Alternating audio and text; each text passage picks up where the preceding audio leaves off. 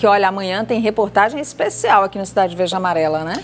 Sim, sim. Na manhã, jornalistas opinam sobre a seleção brasileira, principalmente o ex-tricampeão do mundo, Gerson, que hoje é comentarista é, do SBT Rio vai opinar Olha, sobre a seleção do técnico Tite. Por falar na seleção do técnico Tite, na nossa amarelinha tem a convocação oficial na próxima, no próximo dia 14, mas olha o que aconteceu ontem, gente.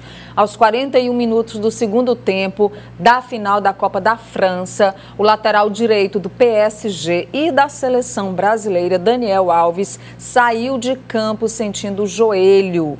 O incômodo preocupa a equipe médica da seleção brasileira. Minutos depois de ir para o banco de reservas, o Daniel Daniel Alves apareceu na imagem da festa do título, o 38º da carreira do jogador, o maior campeão da história do futebol brasileiro. O site UOL e o Diário Esportivo Espanhol Marca publicaram que a lesão pode ser mais grave do que se esperava. A suspeita, segundo o veículo, é uma contusão no ligamento cruzado do joelho que tiraria o atleta da Copa do Mundo.